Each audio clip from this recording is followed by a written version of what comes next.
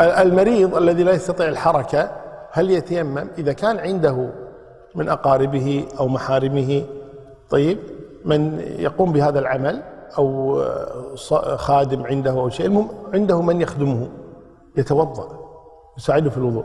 أما إذا لم يكن عنده من يخدمه فيتيمم. نعم لا بأس عليه إن شاء الله.